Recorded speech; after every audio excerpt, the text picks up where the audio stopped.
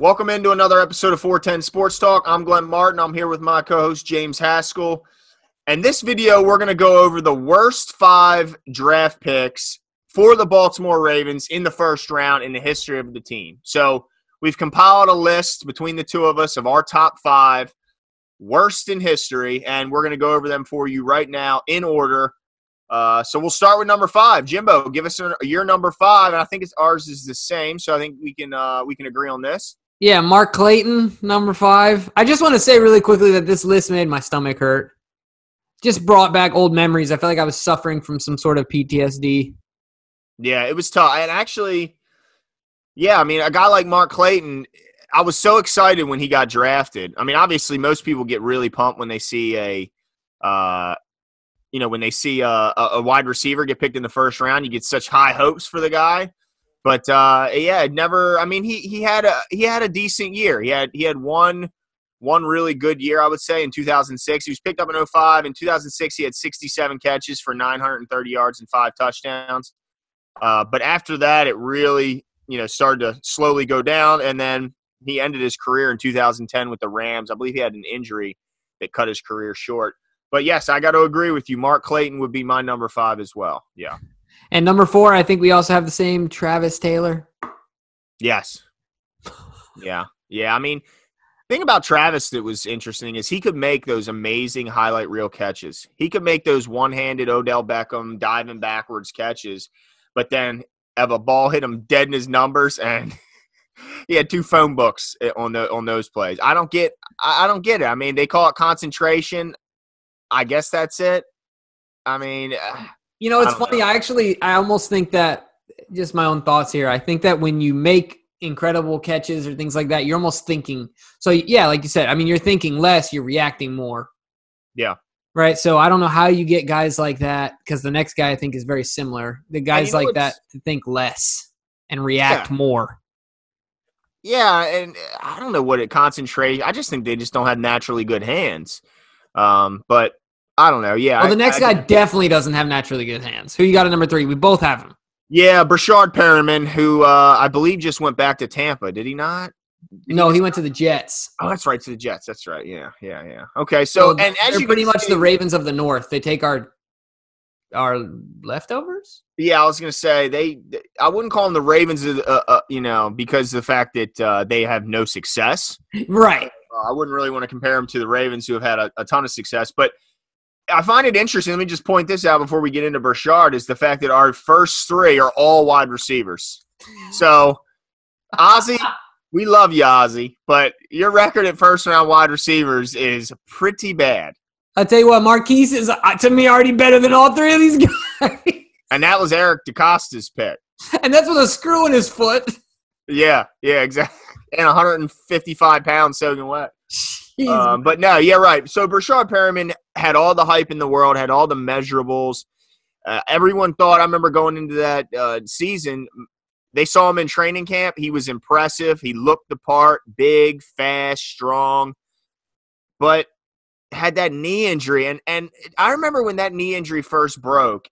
John was like, "Oh, he might miss a, a week of camp." Uh, then it came a week. Um, it's just slow healing, but we expect him any day now that turned into a year, which turned into the next off season, and then he just never. And then he had no confidence, and you know, I'll, I'll say this for him: he got beat up pretty bad in the media and by the fans.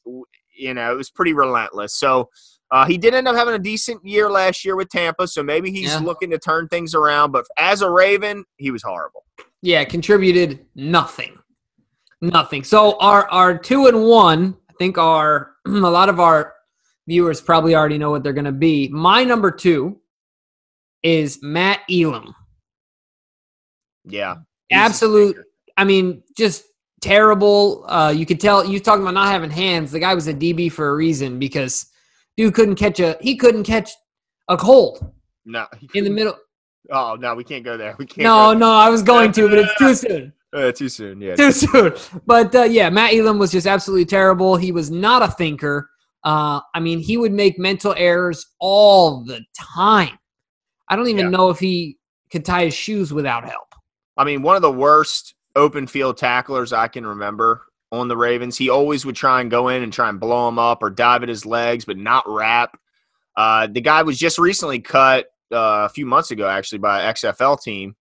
Um, so he's not doing so good there either. But the, I mean, he, just disappointing because I remember when he was coming out of Florida, he got a lot of hype. The guy was tough at the line of scrimmage, great against the run game.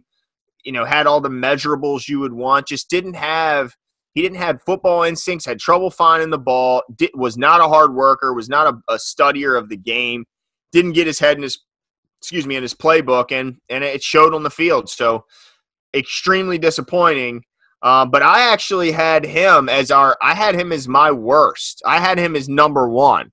okay. Because to me, the guy did absolutely nothing as a Raven. Nothing redeemable. I mean, he didn't even have a year where you look at and you go, well, I mean, he was okay. I mean, he was bad from the start. The guy was, uh, you know, and obviously he had off the field issues. He gotten certainly after he left the Ravens. But when you're a first round pick and you only spend a couple seasons, you know, three seasons here with us, that that's just not good. So I got to go with Matt Elam is my number one. But let us, why don't you introduce your number one, who who's number two on my list? Yeah, he's right behind me. I'll let him introduce himself. Yep. Kyle Boller. Look at his face. Look at his face in my. He looks punch drunk already. He looks terrified. Yeah, but he's- that was his draft conference, so he's he gets has a right to be nervous there. No, Kyle Boller. The reason I put him number one is because he was the most frustrating pick ever in my life that I can remember. Just based on the fact that he was a quarterback, of course, which you know is a big deal. He had so much hype. He had this cannon. I felt like he had this this Herculean type vibe around him when he was coming out of the draft. People would talk about you know all these feats that he could do, how far and hard he could throw the football, and yeah, he could throw the football a mile, but he couldn't read a defense to save his life, and he would tap dance back there in the pocket like nobody's business. And I mean, look, the guy was just terrible. He couldn't hit water falling out of a boat. Goodness gracious! I mean, geez, Yeah. I So- mean, no, he was he was he was really he was one of the most frustrating players I can ever. Rem- he might be the most frustrating player I can ever remember watch play the quarterback position. The guy could not hit the easy throw. He couldn't hit the easy throws, and turns out he couldn't hit the hard throws either. I mean, the guy couldn't hit any throw. His best. se- Let me just tell you what his best season. This is a first round NFL quarterback. Okay, this was in uh, let's see, 2004. He actually played a full season, played 16 games. He had a 55% completion percentage.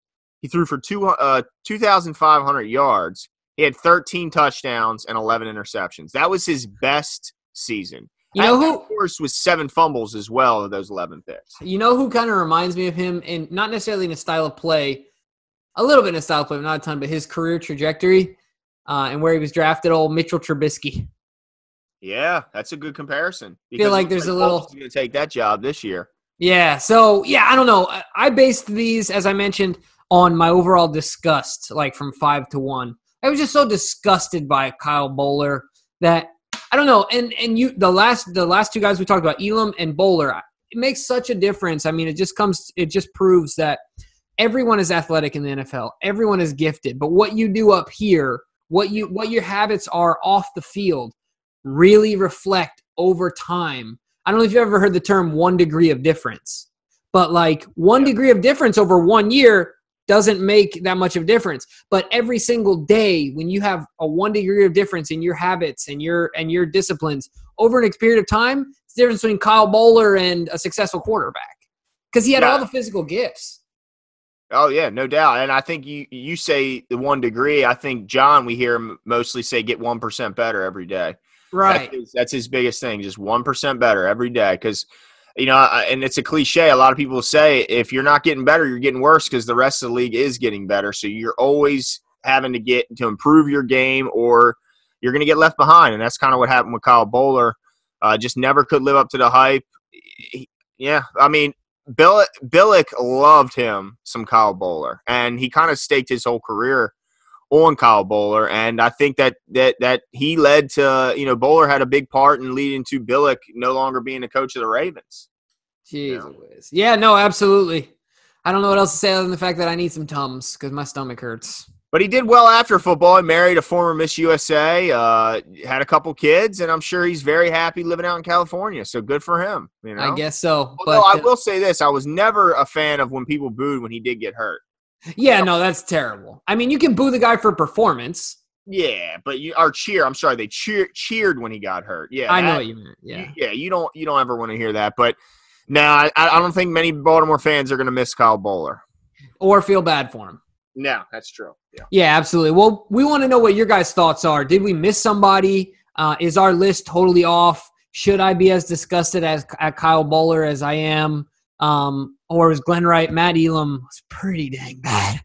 Gosh. Oh, my head is hurting.